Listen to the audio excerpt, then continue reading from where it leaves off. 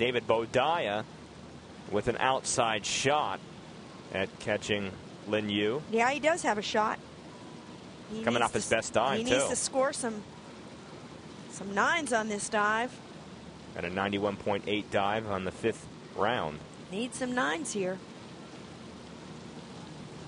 Oh, it's not going to happen. But it's going to get eight, eight and a half possibly. I don't think he's going to go ahead of Lin Yue, but he did make it interesting. Never gave up the whole way through. Nice and tight, feet together.